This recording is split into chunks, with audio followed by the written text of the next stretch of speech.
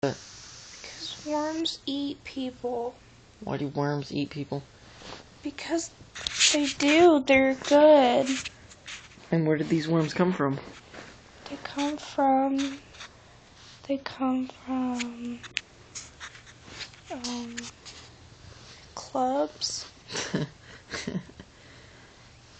so what club did you go to get all these worms? Um. Clum. Do the worm. and I feel like there's worms everywhere. Why do you feel that way? Because. Because what? Because I feel like the worms are wormy.